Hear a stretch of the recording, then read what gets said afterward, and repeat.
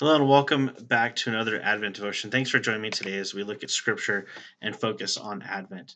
Today's scripture comes from Isaiah 11 1. A shoot shall come up from the stump of Jesse, and a branch shall grow from its roots. So, what an interesting verse to study in this Advent season. If you haven't heard this verse before, it's commonly read in churches in the weeks leading up to Christmas.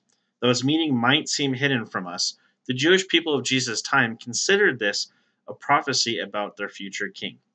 The key to understanding this verse is to know who in the world this Jesse guy was. If you remember your Old Testament, Jesse was King David's father. David, who ruled after Saul and his family, ruled for hundreds of years before the kingdom was destroyed by Babylon. When the text talks about the stump of Jesse, it's referring to David's family tree, the royal line of God's people. Now, if you're looking at the New Testament, you'll know that Jesus comes from the house and line of David. He is born in David's hometown of Bethlehem and is called the King of the Jews. If you looked at it from the heir point of view, Jesse would be something like uh, Jesus would be Jesse's something like great, great, great, great grandson.